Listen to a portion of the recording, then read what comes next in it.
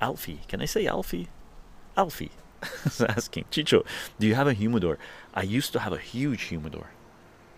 I used to have be able to keep 14 boxes of cigars in there, uh, bigger, more than that. 14 boxes. One time I had 10 boxes of Hoyo de Monterrey double Coronas in there, and all it was, again, all it was was homemade humidor that a friend of mine made for me, and it was just cedar wood planks of cedar in a box about square this big by this big and this deep.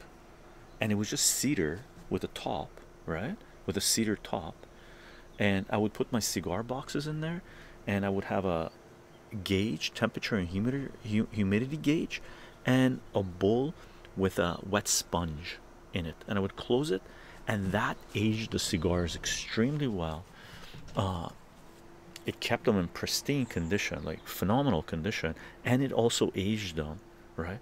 I really didn't have to do anything else and just keep the sponge wet and depending on the humidity gauge i would either increase the water on the sponge or decrease the water on the sponge or let it just dry out a little bit right?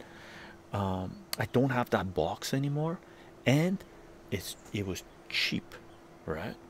Just cedar back then it was cheap. Wood was cheap back then I don't know what it is now. I'm I'm thinking about if I start getting more into cigars, which is basically one of the reasons uh, I, because I can't go to the comic book store buy cigars, uh, buy comic books, right?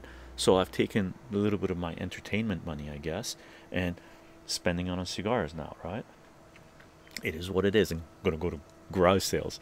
So if you want to have a humidor that works perfectly, that I had for 10, 10 more than that 15 years at least 15 years that was my humidor that I had with me.